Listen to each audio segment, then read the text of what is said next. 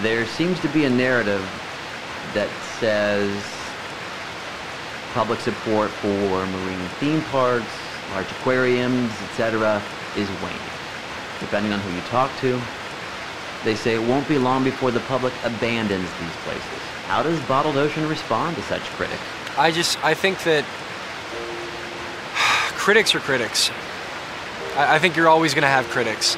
And that, that's not to discredit them. You know, everybody's perspective is valuable, but I think that they, they often are short in figuring out a solution to whatever they're criticizing. You know? I think that they overlook some amazing things that, that zoos and public aquariums and marine theme parks have done for animals in years past and still do today. Here's an idea. Think about this. Ask anyone that you know about their first experience with a really large wild animal or, or a rare fish. And majority of the people you talk to, they're going to say that they saw that animal at a zoo or at an aquarium or at a theme park. Those people are going to, the people that were inspired by seeing that animal, they're going to say, wow, and they're going to turn around and they're going to be the ones that donate and they're going to be the ones that vote for conservation issues, for the support of conservation issues. And the foundation of all of that are the institutions.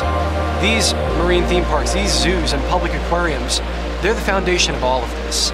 And that's what our company wants to do. We, we want to stand behind that. We want to support that and, and say, how can we take that a step further? They're already doing wonderful things. What else can we do to just heighten that more?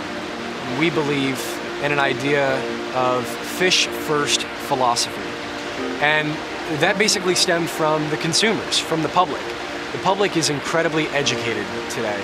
Anyone can go online and research an animal, research what are its needs, what is it like to eat, where can you find it, and what does it look like out in its natural environment. They, they know what an animal looks like when it's healthy and happy.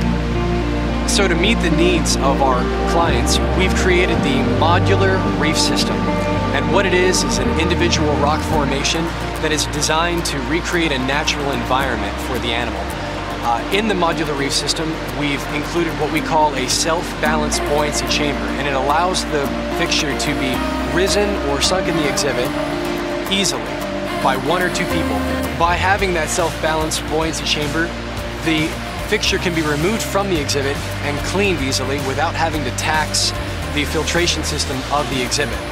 In addition, the modular reef can be reconfigured to meet the needs of each animal, or it can be changed out seasonally. And in doing so, you create a happy and healthy environment for the animal, which in turn creates a wonderful guest experience.